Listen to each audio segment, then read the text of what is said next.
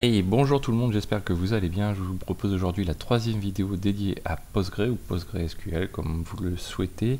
Euh, on va s'intéresser aujourd'hui à, lister un petit peu les différents binaires qui peuvent être utiles euh, au niveau de Postgre et qui sont utilisables et importants à connaître. Euh, donc deux binaires pour commencer euh, principaux. Le principal binaire dédié à Postgre, c'est le PGCTL, PG underscore CTL, qui lui permet tout simplement de démarrer euh, Postgre ou de l'arrêter ou de démarrer et d'arrêter une instance Postgre. donc ça c'est extrêmement important, c'est lui qui va permettre de gérer tout simplement bah, le fait que votre instance soit up ou pas. Il va permettre aussi de, créer euh, bah, l'espace euh, nécessaire quand on va initialiser pour la première fois notre Postgre, euh, bah, de, lancer et de créer les répertoires qui correspondent. Alors bien sûr, tout ça est un peu occulté quand on utilise systemd et qu'on le fait en, en, mode masqué, quoi, on va dire. Euh, mais c'est bien la commande pgctl qui est utilisée par euh, systemd par exemple. On peut utiliser aussi la fonction promote qui est en mode réplication qui permet euh, de promouvoir un standby en master par exemple. le deuxième binaire c'est PSQL. Alors hop, PSQL est important. Hop, voilà, je reviens dessus. PSQL lui est important. Euh, alors c'est indirectement un binaire Postgre, il est installé avec Postgre.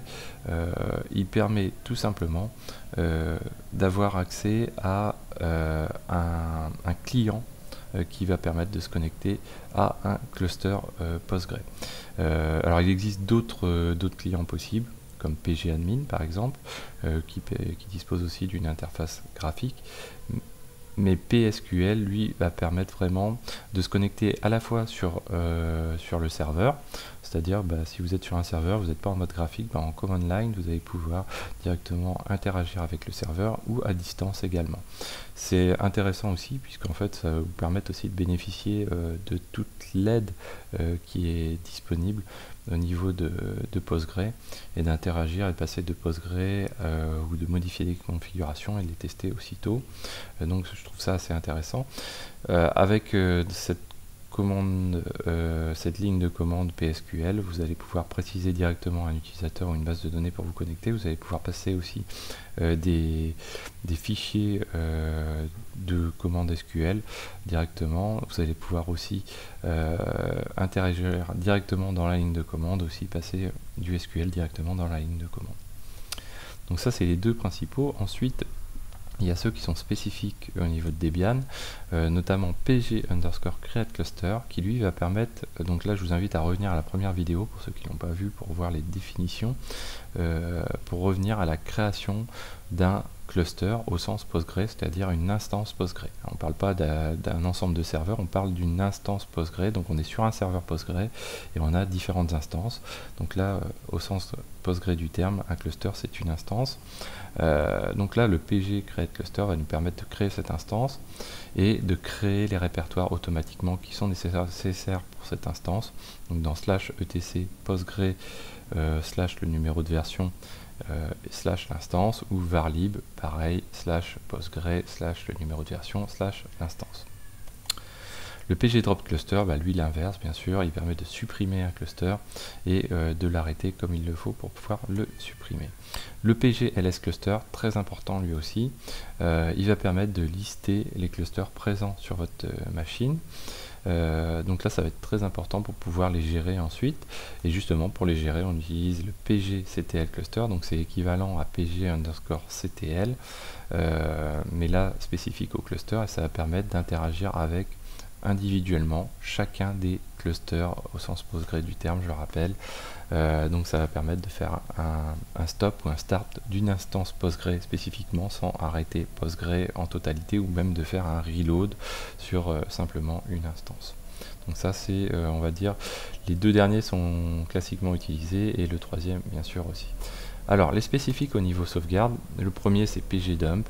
pgdump lui va permettre de faire une sauvegarde avec finesse euh, donc un petit peu comme un, chirurgien, vous allez pouvoir sauvegarder une ou plusieurs instances, une ou plusieurs bases de données avec des spécifications, même sauvegarder simplement certaines tables, par exemple certains schémas, on verra ça dans le détail.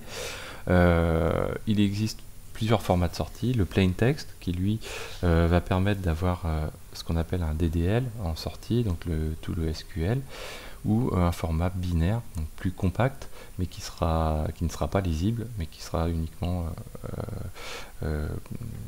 lisible par Postgre, utilisable par Postgre, euh, mais qui va permettre de gagner de la place. Euh, donc il existe plusieurs niveaux, voilà ce que je vous disais, de sauvegarde en termes d'objets, soit un cluster en intégralité, soit une base de données, soit une table, un schéma, etc. Le pgdumpall, lui, euh, c'est la méthode qui est non chirurgicale, on va dire, pour faire les sauvegardes, puisqu'il sauvegarde l'intégralité du, du, cluster Postgre et il va permettre de sortir un format binaire uniquement. Donc là, un format très compact qui sauvegarde l'intégralité, mais euh, qui n'est pas lisible bien sûr. Donc l'idéal, pratiquement, c'est d'avoir les, deux euh, les deux sauvegardes réalisées comme ça, ça va vous permettre d'un côté d'avoir un, format, donc si la base n'est pas trop grosse, bien sûr, mais d'avoir un format plein texte et éventuellement de le segmenter en différentes sauvegardes pour pouvoir faire une restauration vraiment partielle. Et puis avoir un PG dump all qui sauvegarde l'intégralité.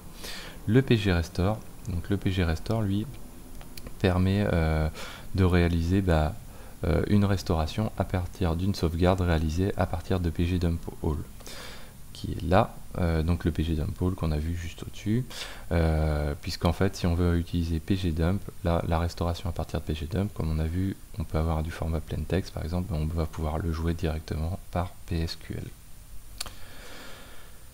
Alors, ce qu'on appelle des wrappers, euh, donc c'est des commandes qui sont équivalentes à des commandes réalisées en, format SQL, hein, donc des create quelque chose en SQL, par exemple. Euh, bah là, on va avoir euh, Postgre met à disposition ce qu'on appelle des wrappers. Donc, à travers la ligne de commande dans notre shell, on va pouvoir utiliser des commandes qui réalisent finalement des commandes SQL. Euh, donc le create DB par exemple, bah, ça, équivaut à un create database Toto par exemple pour créer une base de données. Donc là c'est assez simple, ça va éviter de se connecter directement euh, à notre Postgre par exemple en PSQL et de lancer euh, directement par une ligne de commande shell une création de base de données. Le drop DB, bah, lui c'est la suppression d'une base de données, donc c'est exactement la même chose mais à l'inverse. Le create user, permet de créer euh, des utilisateurs. Et donc là, vous voyez que vous allez pouvoir déjà faire des, scripts shell pour automatiser des créations ou des suppressions d'utilisateurs, des, créations ou des suppressions de bases de données. Le drop user qui fait lui aussi bien sûr l'inverse. Des commandes de maintenance, des binaires de maintenance.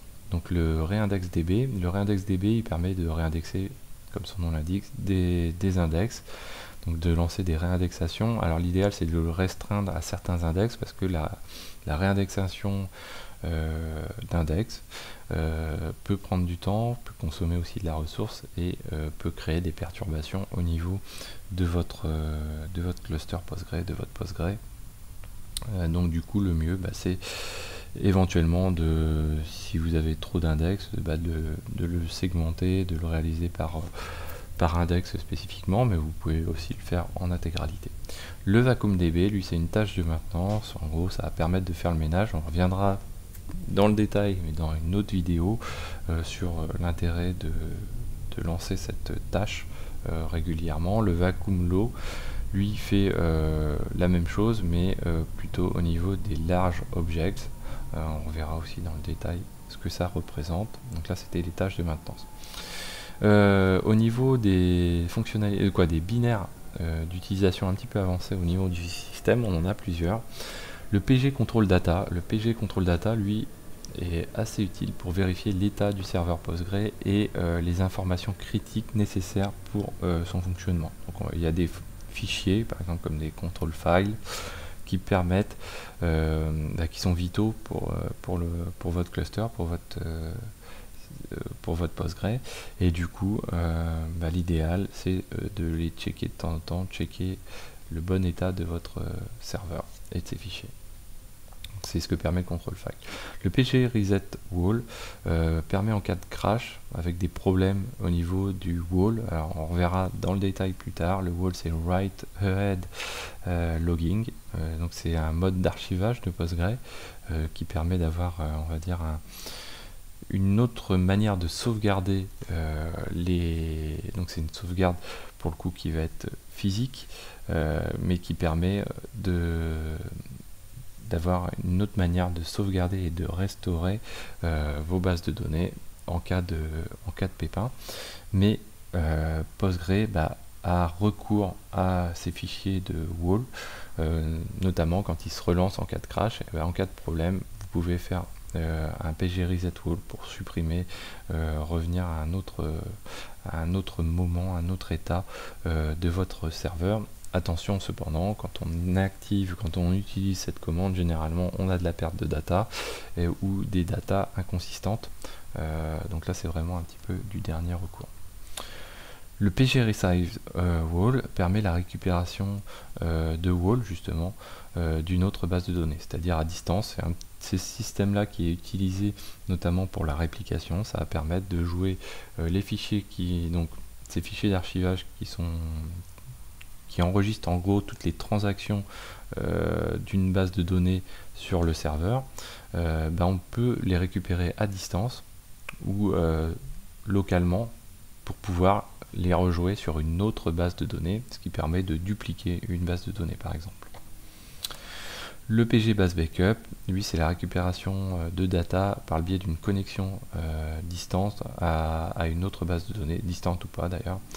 Euh, et c'est notamment ce qui permet aussi des réalisations, quoi, d'initialiser une réplication quand on est à distance pour pouvoir bah, avoir une, réplication qui se met en place et avoir deux serveurs qui, qui, qui vont posséder les mêmes data.